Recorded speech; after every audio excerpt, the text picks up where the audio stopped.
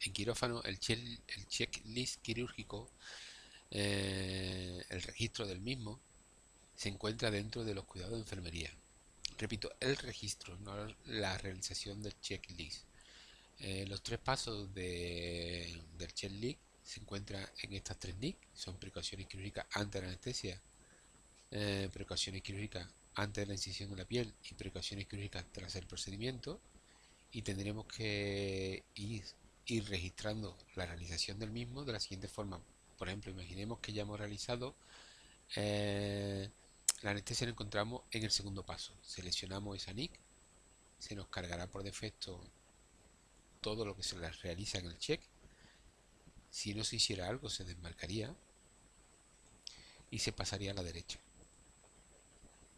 Y haríamos a continuación clic en aceptar. Y si por ejemplo hemos terminado la intervención y queremos realizarle el último paso, que sería las precauciones quirúrgicas tras el procedimiento, procederíamos de la misma forma. Seleccionaríamos la, NIC, la registraríamos lo que se haya hecho y lo que no, no. Y haríamos clic al botón para pasar a la derecha, en más, lo pasaríamos a la derecha y haríamos clic en aceptar.